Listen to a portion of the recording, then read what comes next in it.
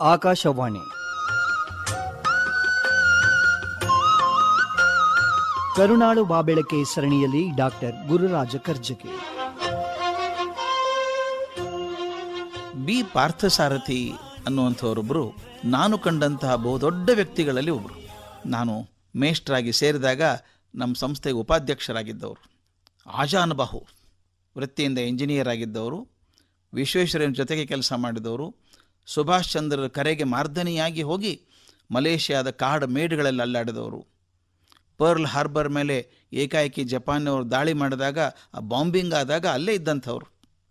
ಭಗವಂತನ ದಯೆಯಿಂದ ಉಳಿದು ಬಂದವರು. ಖ್ಯಾತ ಸಿವಿಲ್ ಇಂಜಿನಿಯರ್ ಭಾರತದ ಸ್ವಾತಂತ್ರ್ಯ ಸಿಕ್ಕ ಮೇಲೆ ಮೊಟ್ಟ ಮೊದಲನೇ ಚೀಫ್ ಇಂಜಿನಿಯರ್ ಆದಂಥವ್ರು ಅವರು. ದಾಮೋದರ್ ವ್ಯಾಲಿ ಪ್ರಾಜೆಕ್ಟ್ ಅಂತಾದಾಗ ಪ್ರಧಾನಮಂತ್ರಿ ನೆಹರೂರವರೇ, ಅವ್ರನ್ನ ಕರೆದು ನೀವು ಚೀಫ್ ಇಂಜಿನಿಯರ್ ಆಗಬೇಕು ಅಂತ ಜವಾಬ್ದಾರಿ ಕೊಟ್ಟರಂತೆ. ಇವರು ಅಷ್ಟೇ ಪ್ರಾಮಾಣಿಕವಾಗಿ ಅದನ್ನು ಸಮಯದೊಳಗೆ ಆ ಡ್ಯಾಮ್ ಕಟ್ಟಿ ಮುಗಿಸಿದರು. ಚೀಫ್ ಇಂಜಿನಿಯರ್ ಆಗಿದ್ರಲ್ಲ, ಎಲ್ಲ ಮುಗಿಸಿದರು. ಉದ್ಘಾಟನೆ ಆಗಬೇಕಲ್ಲ? ಆಗ ಪಾರ್ಸಾರ್ಥಿ ನೆಹರೂರವ್ರನ್ನ ಭೇಟಿಯಾಗಿ ಇಂಥ ದಿವಸ ಏನು ಉದ್ಘಾಟನೆ ಮಾಡಬೇಕು ಅಂದಾಗ ಅವರು ಎಲ್ಲ ಒಪ್ಕೊಂಡು ಒಂದು ದಿವಸ ಫಿಕ್ಸ್ ಆಯಿತು. ಇಂಥ ದಿವಸ ಉದ್ಘಾಟನೆ ಆಗಬೇಕು ಅಂತ ತೀರ್ಮಾನ ಆಯಿತು. ಅಲ್ಲಿವರೆಗೂ ಎಲ್ಲ ಚೆನ್ನಾಗಿತ್ತು. ಇನ್ವಿಟೇಷನ್ ಪತ್ರ ಕಳಿಸ್ಬೇಕಲ್ವಾ? Prime minister ಕಳಿಸ್ಬೇಕಲ್ಲ? ಅದನ್ನು ಕಳಿಸಿದರು. ಅದ್ರ ಜೊತೆಗೆ ಒಂದು ಪತ್ರ ಇಟ್ಟಿದ್ದಾರೆ. ಇದು ನಾನು ಹೇಳಬೇಕಂದು ತಮಗೆ. ಯಾರಿಗಾದ್ರೂ ಧೈರ್ಯ ಇತ್ತ ಆ ಕಾಲಕ್ಕೆ ನೆಹರೂರವರಿಗೆ ಜಂಕಿಸಿ ಮಾತಾಡುವಂಥದ್ದು? ಕಲ್ಪನೆ ಕೂಡ ಮಾಡೋಕ್ಕೆ ಸಾಧ್ಯ ಇಲ್ಲ. ಇವ್ರ ಪತ್ರ ಹೇಗಿತ್ತು ಅಂದರೆ, ತಾವು ಮೊದಲೇ ಒಪ್ಪಿದ ಹಾಗೆ ಇಂಥ ದಿವಸ, ಇಂಥ ಸಮಯಕ್ಕೆ ಉದ್ಘಾಟನೆ ಮಾಡೋದು ಗೊತ್ತಾಗಿದೆ.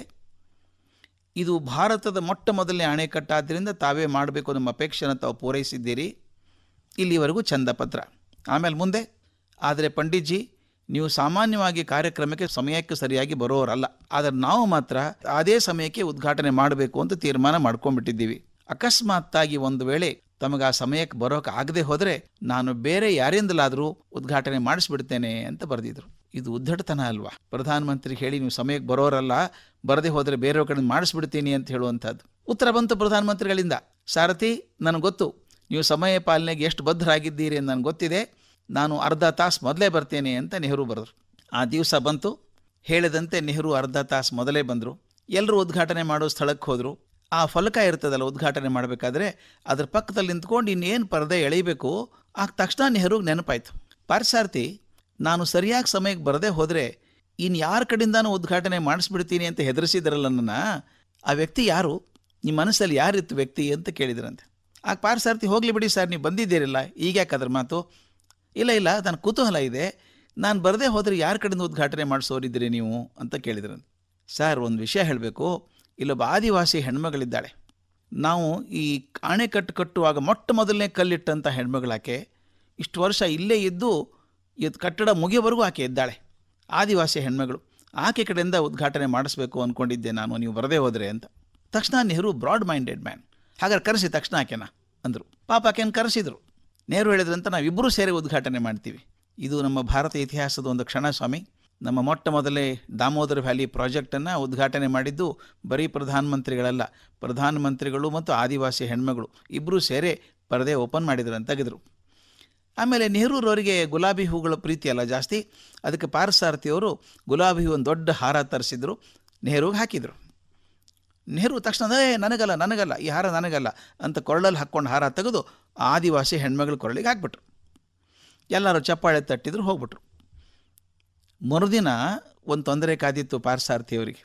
ಪಾರ್ಸಾರ್ಥಿಯವ್ರ ಮನೆ ಮುಂದೆ ಆದಿವಾಸಿ ಹೆಣ್ಮಗಳು ಬಂದು ಹೋ ಅಂತ ಅಳ್ತಾ ಇದ್ಲು. ಯಾಕೆ ಅಂದರೆ ಆದಿವಾಸಿಗಳ ಪದ್ಧತಿಯ ಪ್ರಕಾರ ಯಾವುದೋ ಒಬ್ಬ ಮದುವೆಯಾದ ಮಹಿಳೆಗೆ ಇನ್ನೊಬ್ಬ ಬೇರೆದವನು ಹಾರ ಹಾಕಿದರೆ ಮೊದಲಿನ ಮದುವೆ ರದ್ದಾದಂತೆ ಎರಡನೇದವನೇ ಗಂಡ ಅಂತೆ. ಇನ್ನು ಹೇಳೋಕ್ಕಾಗತ್ತಾ ನೆಹರು ಮದುವೆ ಆಗು ಅಂತ ಹೇಳೋಕ್ಕಾಗತ್ತಾ ಆ ಪರಿಸ್ಥಿತಿ ಹೇಗೆ ಬಂತು? ಮೊದಲೇ ಗಂಡ ಬಿಟ್ಬಿಟ್ಟು ಆಕೆನ.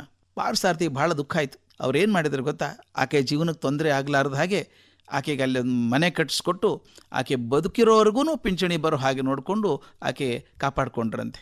ಪಾರ್ಸಾರ್ಥಿ ನನಗೆ ಯಾವಾಗಲೂ ಹೇಳೋರು, ನಾವು ಒಳ್ಳೆಯ ಮನಸ್ಸಿಂದ ಮಾಡಿದ ಕೆಲಸ ಕೂಡ ಮತ್ತೊಬ್ಬರಿಗೆ ತೊಂದರೆ ಮಾಡಬಹುದು. ಯಾವುದೇ ಕೆಲಸ ನಮಗೆ ಸರಿ ಅನ್ನಿಸಿದಾಗ ಮೊದಲು ಇದರಿಂದ ಯಾರಿಗೂ ತೊಂದರೆ ಆಗೋದಿಲ್ವಾ ಅಂತ ವಿಚಾರ ಮಾಡಿ ಮಾಡೋದು ಒಳ್ಳೆಯದು ನಾನೇನು ಉತ್ಸಾಹದಿಂದ ಒಳ್ಳೆಯ ಕೆಲಸ ಅಂತ ಮಾಡಿಬಿಡ್ತೇನೆ, ಅದರಿಂದ ಯಾರಿಗೆ ಎಲ್ಲಿ ತೊಂದರೆ ಆಗ್ತದೆ ಅನ್ನೋದನ್ನು ಗಮನದಲ್ಲಿಟ್ಟರೆ ಇನ್ನೂ ಒಳ್ಳೆಯದು ಅಂತ ಅನಿಸುತ್ತೆ. ಪಾರಸಾರಥಿ ಅವರು ಹೇಳಿದಂಥ ಮಾತು ನಾನು ಎಂದೂ ಮರೆಯೋಕ್ಕೆ ಸಾಧ್ಯ ಇಲ್ಲ. ಉತ್ಸಾಹದ ಕೆಲಸದ ಭರದಲ್ಲಿ ಇನ್ನೊಬ್ಬರಿಗೆ ತೊಂದರೆ ಆಗದ ಹಾಗೆ ನೋಡ್ಕೊಳ್ಬೇಕಾದದ್ದು ನಮ್ಮೆಲ್ಲರ ಜವಾಬ್ದಾರಿ.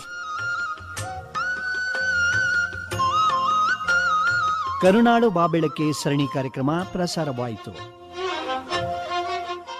ಪ್ರಸ್ತುತಿ ಡಾಕ್ಟರ್ ಗುರುರಾಜ ಕರ್ಜಕೆ. ನಿರ್ವಹಣೆ ಎಸ್ಆರ್ ಭಟ್. ಪ್ರಸಾರ ಸಂಯೋಜನೆ ಎಂಜಿ ರವಿ. ಇದು ಆಕಾಶವಾಣಿ ಎಫ್ಎಂ ರೈನ್ಬೋ ಪ್ರಸ್ತುತಿ. ಈ ಕಾರ್ಯಕ್ರಮದ ಎಲ್ಲ ಸಂಚಿಕೆಗಳನ್ನು ಮತ್ತೊಮ್ಮೆ ಕೇಳಲು ಯೂಟ್ಯೂಬ್ ಚಾನೆಲ್ ಸಬ್ಸ್ಕ್ರೈಬ್ ಮಾಡಿ. ಯೂಟ್ಯೂಬ್ ಚಾನೆಲ್ ವಿಳಾಸ ಎಫ್ಎಂ ರೈನ್ಬೋ ನೂರ ಒಂದು ಪಾಯಿಂಟ್ ಮೂರು ಕನ್ನಡ ಕಾಮನಬಿಲ್ಲು.